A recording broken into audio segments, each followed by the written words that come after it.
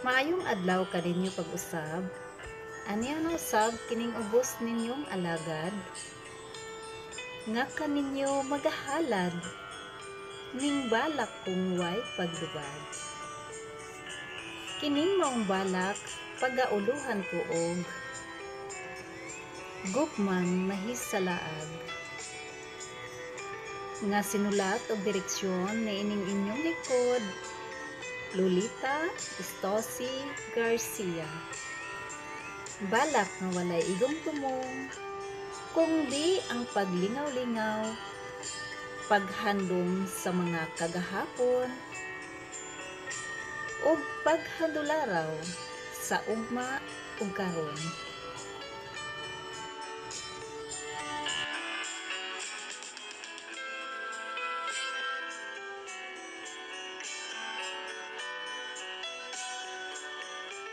Gugmang nahisalaag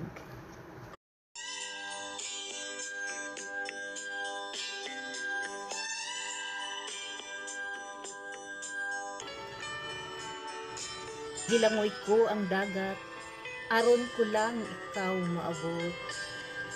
Gitungas ko ang bungtod, aron ko lang ikaw makabot.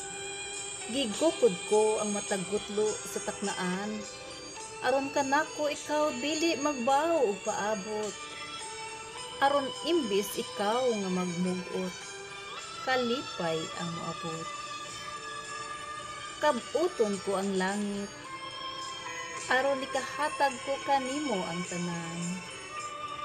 Ihalad ko kanimo ang kahayag sa bituon ug bulan. Ihatag ko kanimo ang gugmang way utlanan. Sa timos kung pagbati, ikaw pagahalaran.